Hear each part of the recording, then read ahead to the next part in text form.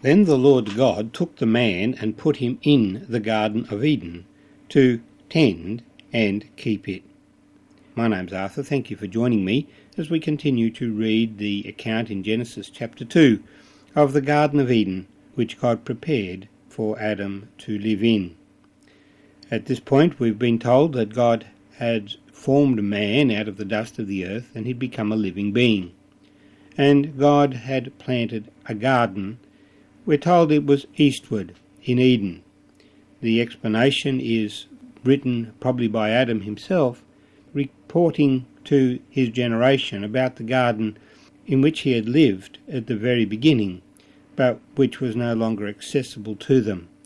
And so he indicates the direction it is from where they are. In other words, Adam was living west of the garden at the time this account was written. And the characteristic of the garden was that it had pleasant plants in it. It was a delightful place to live in. And there were two particular trees that were mentioned in verse 9 the tree of life and the tree of the knowledge of good and evil.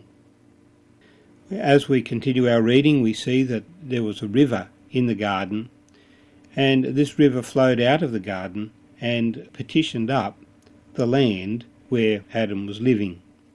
And so we have the names of the rivers and a little bit of characteristics of those lands. And we have the instruction given this morning to us that Adam could eat of any tree in the garden, except he was not to eat of the tree of the knowledge of good and evil. Let's read from verse 10 of Genesis 2. Now a river went out of Eden to water the garden, and from there it parted and became four river heads. The name of the first is Pishon. It is the one which encompasses the whole land of Havilah, where there is gold. And the gold of that land is good. Bdellium and the onyx stone are there. The name of the second river is Gihon. It is the one which encompasses the whole land of Cush. The name of the third river is Hiddekel. It is the one which goes towards the east of Assyria and the fourth river is the Euphrates. Then the Lord God took the man and put him in the garden to tend and keep it.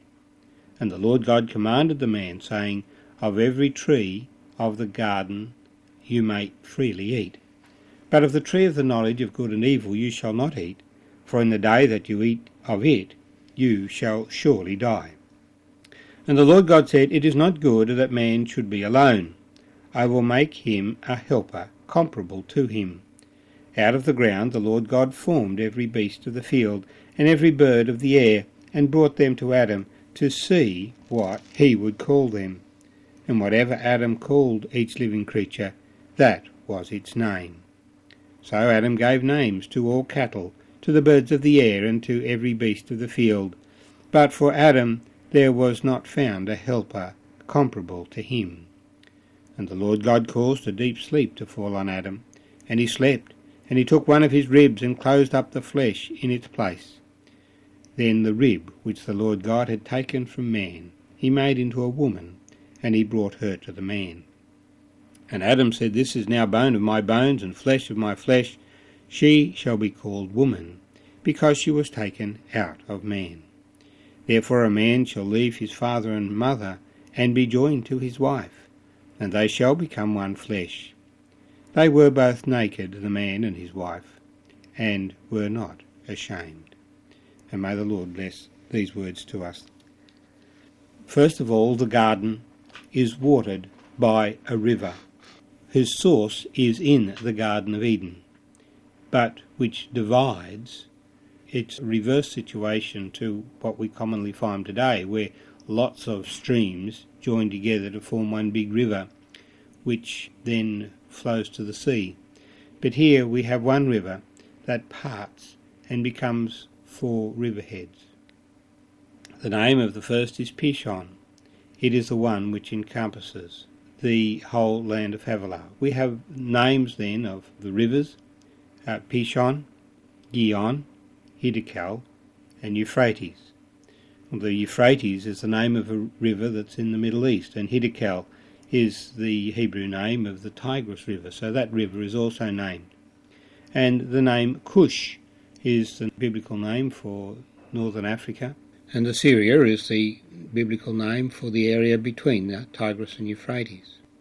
Uh, so these names were taken and reused after the flood to define the areas of the earth as the first men settled because they had the memory of the earlier names. It's exactly the same kind of thing as when you come to New Zealand and find names of towns based on England. New South Wales, the name Wales comes from Wales in the British Isles.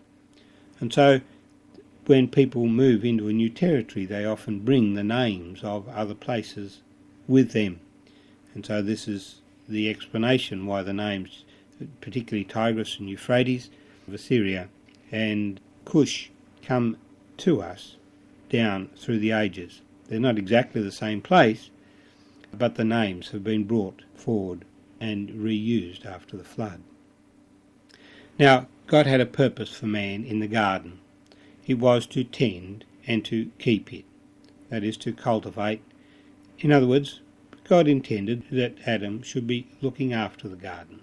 He should not just be an observer, but a participant in. He was given the right and ability to, to design, to plan, to put trees here and to move them there, and generally to enjoy working in the garden and keeping it nice when uh, trees grew too rank, to cut them back and to prune them, and basically to maintain the garden.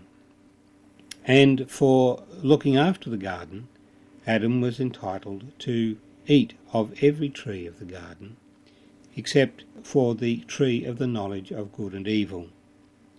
So we have the warning given, In the day that you eat of it, you shall surely die. There's two special trees, the tree of life and the tree of the knowledge of good and evil.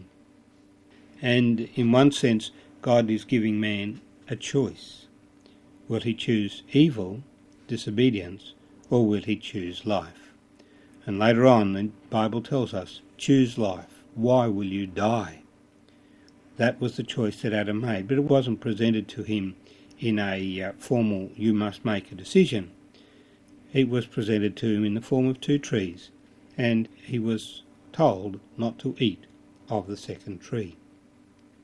We'll leave the discussion of Adam and company for him, but from verse 18 we find that Adam, for all the possibility of labour that he has, really doesn't have anyone of an equal to communicate with in the garden.